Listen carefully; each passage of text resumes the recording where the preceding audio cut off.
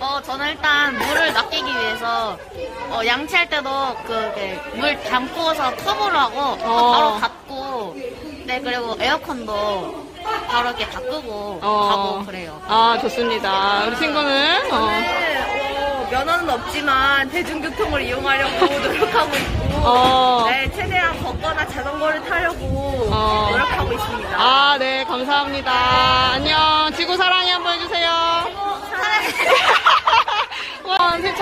하고 있나요? 어, 저는 분리수거 열심히 하고 에너지 절약하고 있어요. 아, 네, 우리 하늘이 친구는 어, 저는 그냥 일회용 쓰는 거 좀 줄이고 있어요. 어, 좋습니다. 앞으로도 환경보호를 위해서 애써주세요. 네. 안녕. 그냥 우리 그거 하자. 지구의 사랑. 어, 지구야 사랑해. 어,